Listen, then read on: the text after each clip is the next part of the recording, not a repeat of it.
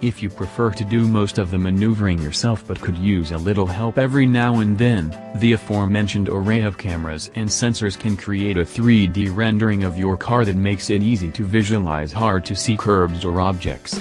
You can also drag around or pan your virtual vehicle up and down for a better view to avoid pesky rim scrapers you might not otherwise be able to spot. With dummy obstacles set up nearby and parking sensors blaring, the A8 managed to recognize the would-be paint scrapers, take over the steering, and deftly avoid them within fractions of an inch.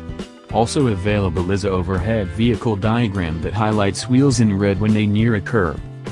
Depending on your level of trust, you can also press the Audi AI button and have the car swerve to avoid obstacles at slow speed or, better yet, park or unpark a car from a tight spot as you stand nearby and watch. I found the exercise of watching the A8 move on its own volition both slightly harrowing and strangely reassuring, a surreal out-of-body vehicular experience that demands total trust in the computers.